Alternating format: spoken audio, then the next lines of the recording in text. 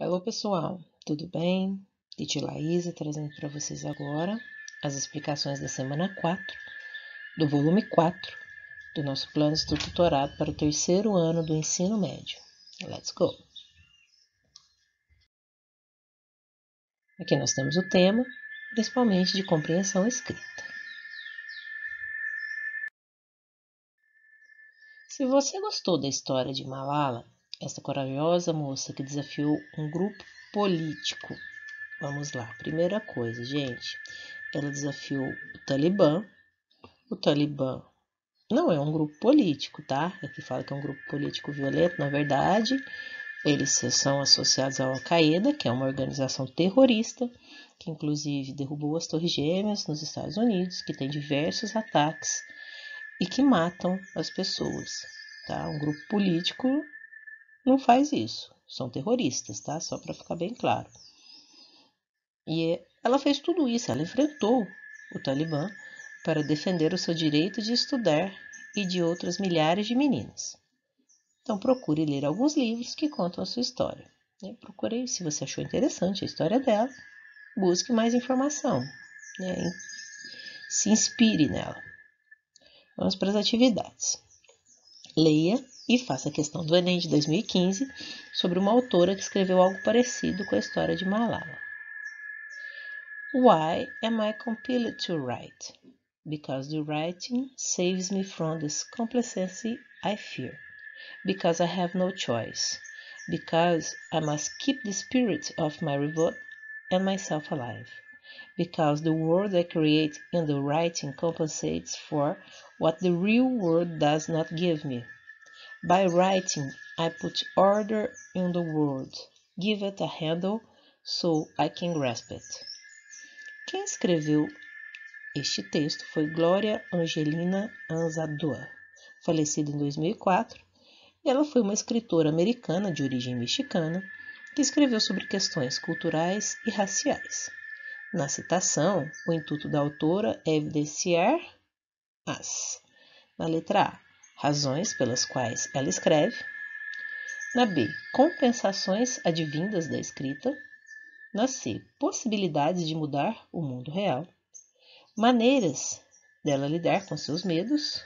Ou na E, escolhas que ela faz para ordenar o mundo. Aqui eu trouxe a tradução para vocês, para ajudá-los.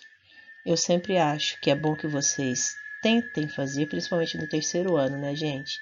Busquem as palavras-chave, as palavras cognatas que vocês já aprenderam, para vocês conseguirem fazer de uma maneira tranquila e reconhecerem o que o, texto pede. Muitas vezes é, não é tão difícil assim. Quem foi Glória Azadua? Foi essa escritora, né, americana, e ela tem muitos livros, eu coloquei aqui uma foto dela para vocês conhecerem. I change myself, I change the world. Eu, se eu mudo a mim mesmo, eu mudo o mundo. Ou seja, a mudança tem que começar por nós mesmos. Na 2. Depois do tiro que quase matou Malala, ela diz que tinha duas opções: viver uma vida tranquila em outro país ou fazer o máximo na nova vida a que ela foi dada para lutar por direitos. No início desse material, foi-lhe perguntado se você percebe a educação como um direito ou um dever. Sua opinião mudou, ainda que seja um pouco, após conhecer a história de Malala e de tantas outras milhões de pessoas que nunca terão a oportunidade de ir à escola? Ou a sua opinião inicial foi reforçada? E aí, pessoal, quando foi perguntado se vocês valorizavam a educação, se vocês achavam que era um dever, né, que era uma obrigação, ou não, que era um direito. Quem mudou de opinião? Né? Ou não? Quem falou e continua concordando com a sua opinião e reforçou ainda mais?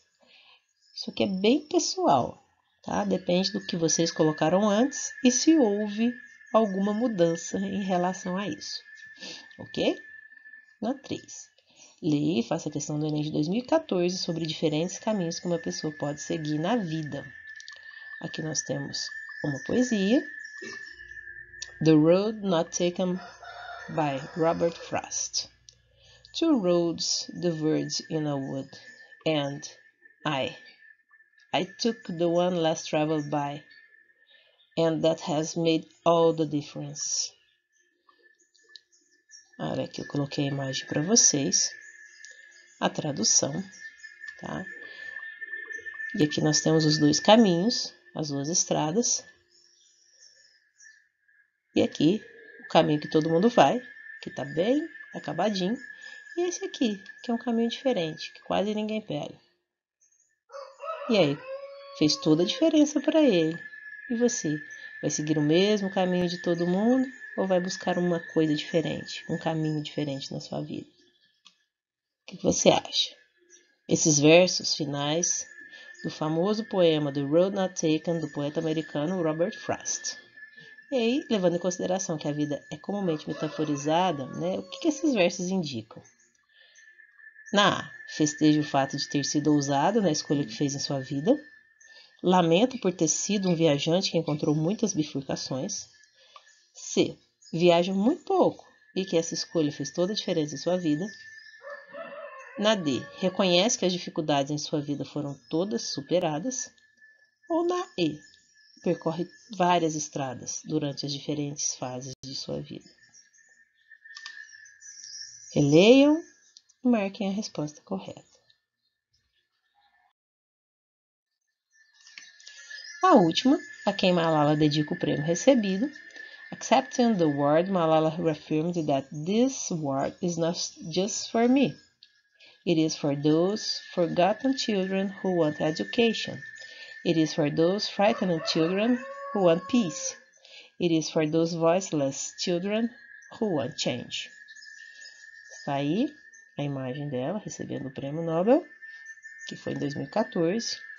E a pergunta é: a quem ela dedicou o prêmio?